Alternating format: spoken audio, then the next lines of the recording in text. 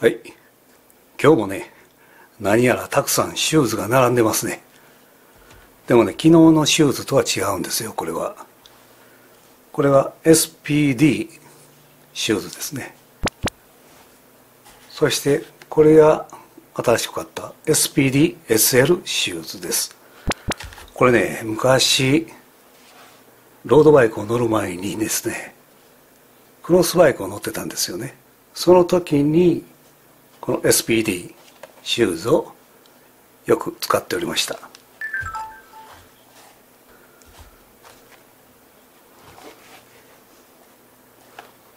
SPD はこういうクリートがついてますね。全然違いますよね。これはですね初めて見る方がいらっしゃると思いますけども。これがペダルです。SPD シューズのこれがペダルですね。こういう具合に。よいしょ硬いんですよ。はい。こういう具合につくわけですね。そしてこうこのようにペダルをこぐわけです。足が外れませんからねこれ。まあ慣れないと怖いですけどね。SPD です。外す時はこう。という具合に外します。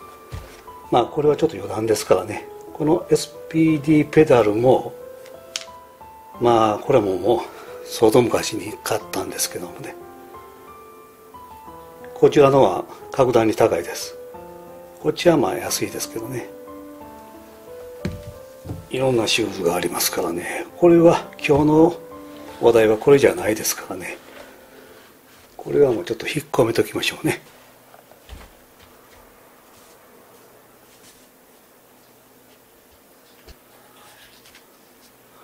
はいこれが新しい SPDSL シューズですね。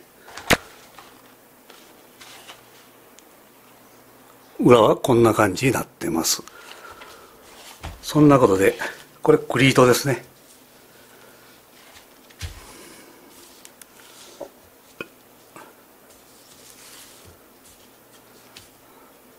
3種類のクリートがあります。まるで信号機のようですね。赤青黄と。全部機能が違います。この赤。いっぺんも使ってませんけどね。まあロードバイクに乗り始めた頃に赤も買ったんですよね。まあこのように取り付けてね。でペダルでガチャンとはめるわけですけどもね。これはねはめると全く固定されて遊びがないんですよ。こういう遊びがないんですね。バチンとはめると。動きません。まあベテランの方とかね。足とかあの全体のポジションがねちゃんと正確に取れてる方は、まあ、レースに出られる方とかね。これいいかもしれませんね。このクリートはね左右の遊びがあるんですね。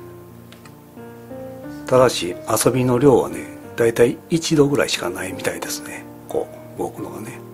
実際こんな大きくは動きません。ただまだつけてませんからね。はっきり分かりませんけどもね。それとこの黄色クリートはねもう昔から取り付けておりますので大体分かってますね。3, 3度ぐらいこう動くわけですね。実際足もこう少し動くわけですね左右に。そんなようなことでねこういう3種類のクリートがあるんですね。私が昔ロードバイクに乗り始めた頃はねこの青クリートはまだ発売されてなかったですね。ですのでこっちを主体にねつけておりました。クリートを購入するとですねこのようなボルトが付属されております。こういうやつね。3箇所ですねこれが。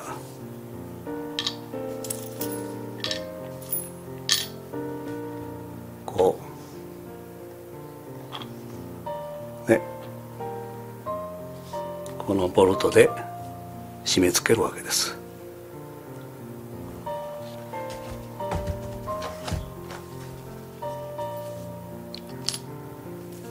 こんな初めて見る方もいらっしゃると思いますので。ロードバイクとかねこういう自転車乗らない方は全く関係ない世界ですからね。一つね大きな問題があるんですよ。これはシマノのクリートですね。シマノのクリートに付属のこのボルトですけどもねこれはリーチが、えー、8ミリです。シマノのシューズでしたらいいかもしれませんけどこれはシディのシューズです。シディのシューズにはねこの8ミリがちょっと短いんですよね。なのでここに10ミリのボルトがあります。これは別途購入しますけどね。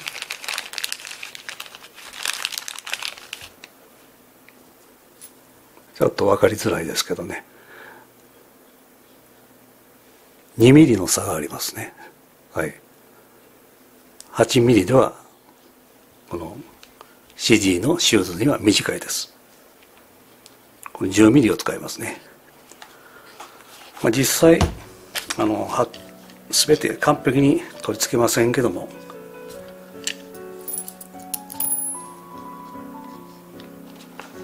一箇所だけね。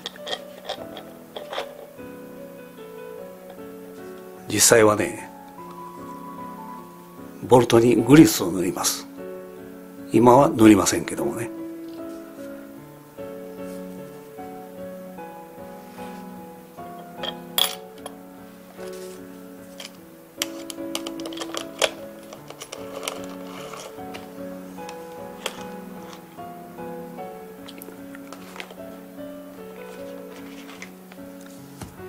まあ実際は3箇所止めますけどね。そしてボルトにはグリスを塗ります。まあいろいろグレスありますけどもね。人それぞれで。あと締め付けトルクがあるんですよね。むやみやたらに。ガンガン締めたらね。ボコッといっちゃいますからね。ここでまあ私はトルクレンチを使います。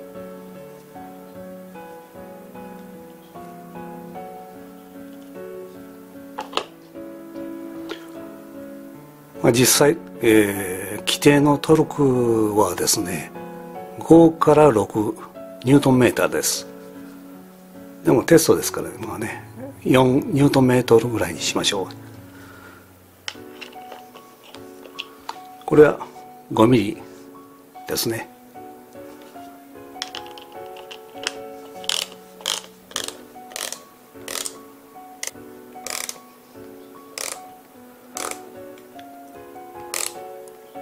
結構ね5から6ニュートンメーターというとね結構きついんですよ。今設定は4ニュートンメートルにしてます。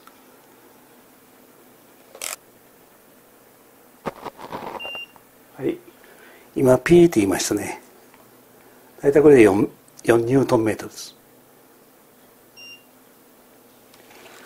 はい。実際もっとちゃんと取り付けますけどもね。取り付けの位置はですね。これがちょっと汚いですけど既存のシューズですね。この位置にまあぴったり合わすわけですけどもね。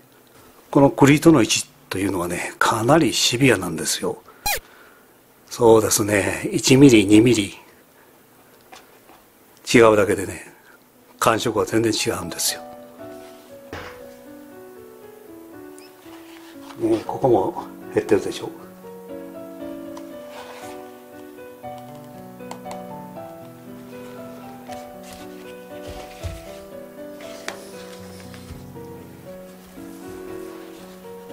う昔ねサイクリングをしてね、うん、途中で休憩したわけです。そしてねこの何気なしに裏返して普通を外してねこのクリートの部分見たらね一本ボルトがなかったことがあるんですよ。まあ緩んで落ちたんでしょうね。えらいこっちゃと思ってね。